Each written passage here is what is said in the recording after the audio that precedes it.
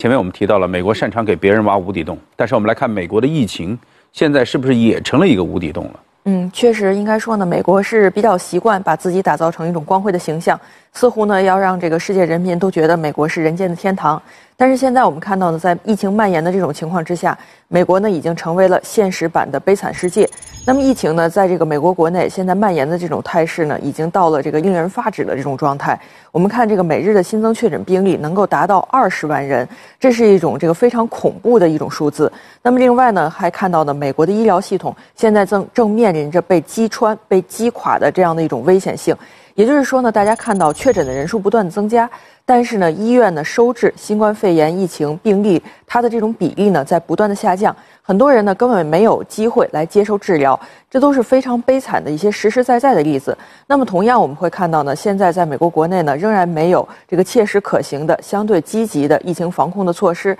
甚至在这个戴口罩的问题上都没有解决最基本的关切。那么，对于这个未来拜登执政之后如何来控制疫情来说，现在呢，尽管有很多的这种努力的方向，但是能不能落地，是不是能够让这个美国疫情不断蔓延的这种态势被踩刹车，能够停住，能够挽救这个悲惨世界？我觉得从目前来说呢，还有很多的不确定性。但是呢，在这样的一种这个情况的同时呢，大家可能会看到，美国呢似乎呢还不忘了四处做坏事儿。刚才您说呢，美国的这个疫情是无底洞，那么美国呢仍然在这个其他的地方在挖无底洞。不管是在这个印太地区的这种安全的问题上，还是呢与大国竞争的一系列的手段上，似乎呢这个美国政府呢仍然把很多的精力放在这些方面，所以呢这就产生了一种非常讽刺的场面，就是一方面呢美国国内的真正重要的议题，保护人民生命安全和身体健康的议题议题无人顾及，那么美国政客呢却通过一系列其他的手段来为这个美国的政策贴上自己的标签，